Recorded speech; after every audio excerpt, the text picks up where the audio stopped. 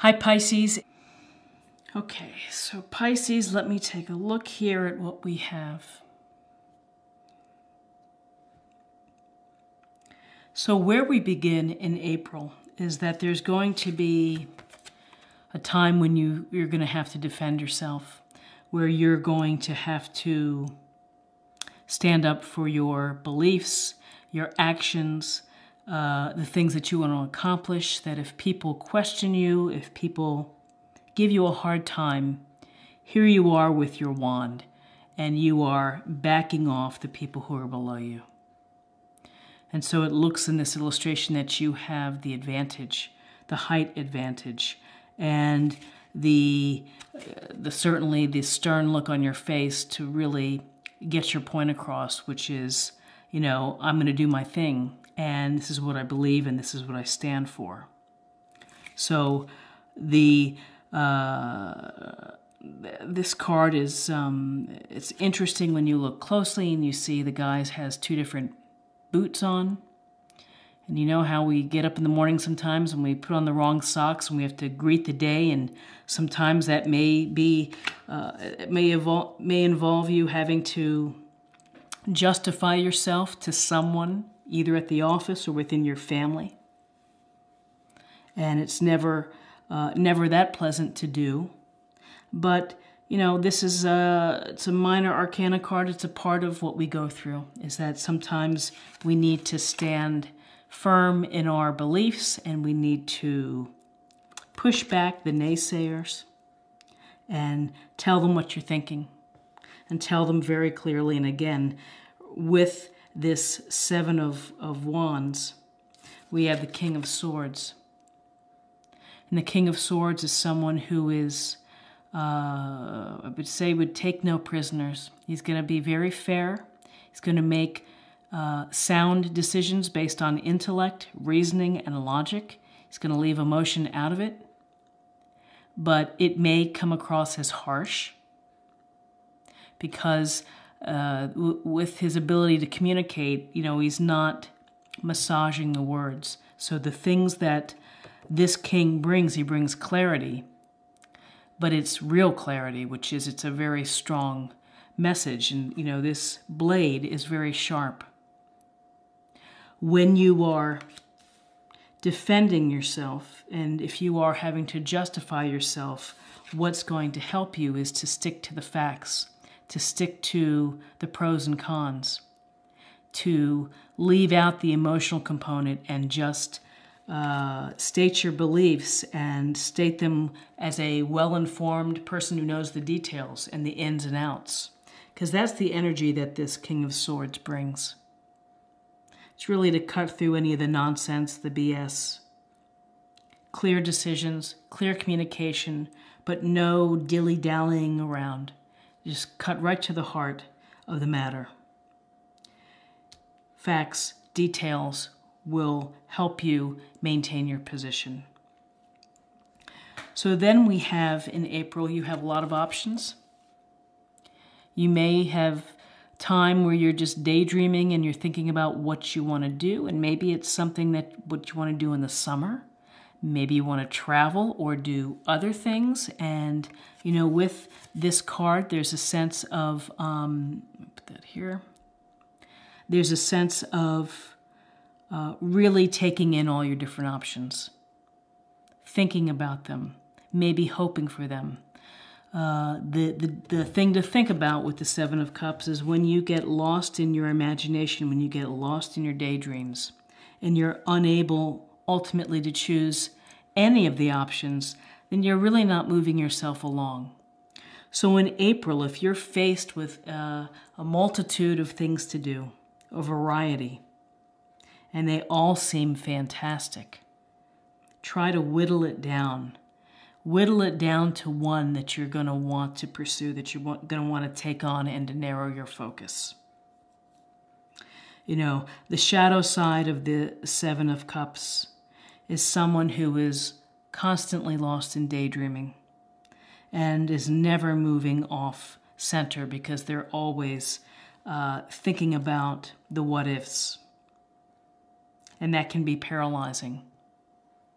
You know, imagination is a good thing, and to visualize and to fantasize is a good thing because it can prod you in, in a different direction. But don't let it, uh, you know, do something with it. Do something with your options. Make a decision with one of your options. When you make the decision, here's the lovely strength card.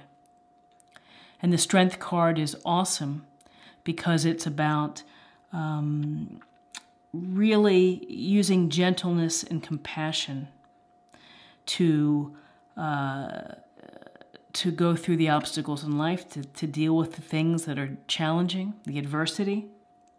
Sometimes when we have difficult moments, particularly like the Seven of, of Wands, we want, you know, our, our beast side can come out, our brutal side can come out.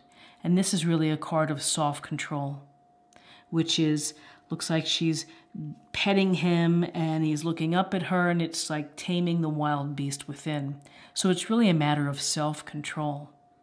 That someone who can exhibit and show self control is going to have more opportunities for success in their life. And strength is a wonderful reminder that it, it you know, no matter how difficult life can get and the challenges that we face, you have to have the faith in yourself that you are strong enough to handle it. And sometimes we don't know how strong we are until we're faced with that adversity. And there are many ways that adversity shows its face. And so it's once you're in it, then you really find out what you're what you're made out of. But this tells you that you have what it takes to ride through the challenging times that you may or may not face. So in April, we have the lovely temperance card, and temperance is a card of finding balance, of finding harmony, of blending all of the elements physical, mental, emotional, everything into uh, a very nice equilibrium. And so it's finding the middle ground. It's not going to extremes. And these extremes can go toward your emotions of the wild swings of frustration to sadness to joy to having to defend. Um, you know, this is a, a card that would tell you to relax, take some time for yourself, meditate, get in touch with your spirits, listen to your intuition, go with the flow. Don't fight the problem. Just relax and restore yourself into a the balance that works for you. So what's interesting is here with the temperance card is the 3 of cups. And the 3 of cups is a great card which tells me that in April you're going to have opportunities to celebrate with friends to raise a glass, to, to talk, to chat, to catch up, to share. You know, to have the sense of community is very empowering. And there's joy in this card, there's a lot of happiness, and there's abundance because you're abundant in experience and engagement and being interactive with your friends. So, interestingly enough, though, when, you, when I see the Three of Cups, with temperance. There's it's maybe balancing out that maybe you need some time with some people. That that would help you establish your harmony your peace your serenity is to have some time with people. The other thing with temperance is that with your time with people is don't overdo it. Don't overindulge have fun, enjoy, drink up, and toast your friends, but you know, keep it keep it together. So in April, here we have this sense of dealing through some personnel matters of defending yourself, making yourself very clear in where you stand, backing up your reasoning. And having a lot of options and weighing the options and dreaming about the options. And at the same time, realizing that you have a, some strength here that's going to provide for you. In April, you have a chance for some celebrations, and you have it on your shoulders to get uh, some balance back, to bring some equilibrium into your picture. And this card is further complemented and supplemented by the Four of Swords, and we'll get to that in a second. With uh, this spread for April, we have the King of Wands, and the King of Wands is charismatic, he's successful, he's fun. He may be the life of the party. He may have a big personality, someone that you would notice. Uh, he, this could be of counsel to you, someone who would give you good advice, someone who would be interested in hearing your ideas, uh, maybe listening to some of these options that you're faced with.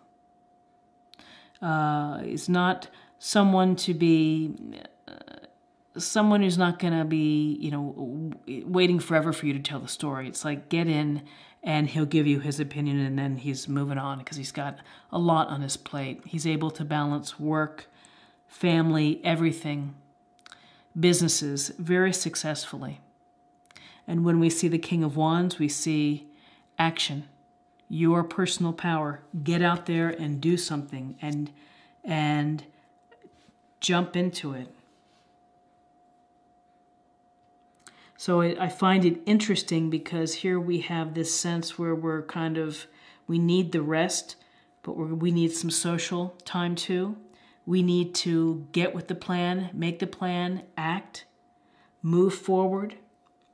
And at the same time, again, the idea of rest and recovery comes into play. So, whether the events of, of 2018 have led you to have a, an exhausting time, April is telling you to find your equilibrium and to uh, take yourself out of a situation so that you can recharge, energize, catch your breath, restore yourself. Doesn't mean that a situation is going to disappear, but you may be going back with a new perspective, a new approach, and that might be very helpful. So we're looking at an idea here, of middle ground, not going to extremes, making sure you catch up on your rest, getting out there and socializing to balance these things out, um, doing some self work and understanding that you have the strength and whatever is necessary to ride you through people who may not be supporting you. And what comes to mind is drop the hammer, drop the, uh, the sword here, clear out the people that don't serve you and the people that are giving you a hard time, maybe you need to cut them clean and say ciao, bye bye. Um, but you're going to speak your truth here. You're going to be informed. You're going to have the details. There's going to be no getting around the facts and the reasoning for whatever it is that you feel that you have to defend yourself. So, Pisces, this is what I see for you. So, let me take a look at what we don't have we don't have pentacles, so the grounded, common sense, slow moving energy of the pentacles is uh, simply not showing up this month for you, but that's okay. Let's get a little more information for love.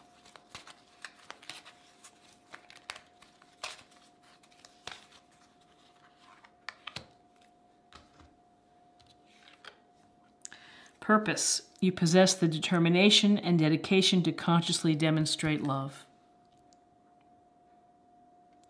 So, where does the love come from? The love comes from love for yourself with strength and love for your friends and your community that supports you.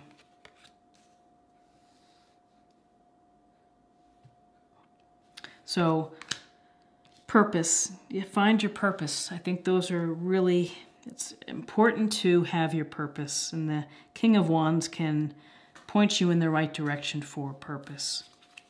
And finally, for uh, a, a meditation point or a practice area for the month. Let's pull one more oracle card.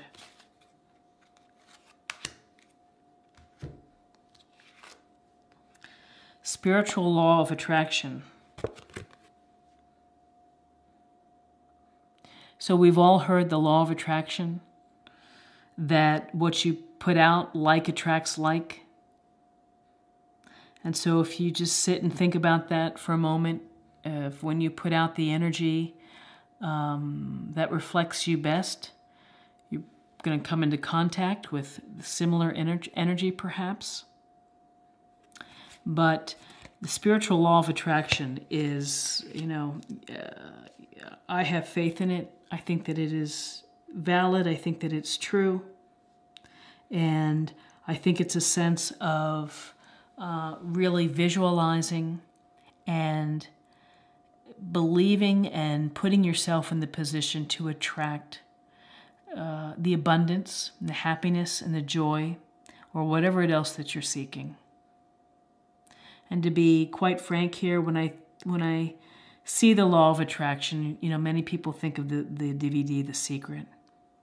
And it was like, well, I want to attract a, a, necklace or I want to attract a new bike or something. And it's, uh, to me, it's more of the message of the law of attraction, the things that you can't buy, true friendships, true connections, uh, experiences that are one of a kind in your life, that are memorable, building your memories building a happy place, however that may be. So, this is what I see for you in April, Pisces. I hope that you found something helpful here. And if you did, and if you're not subscribed to my channel, then please consider subscribing. It's a great way to show support, and it's um, very encouraging. So I thank you, and I certainly thank you for your time in watching this video, and I appreciate it and I hope that you'll come back again. Thanks so much. Bye bye.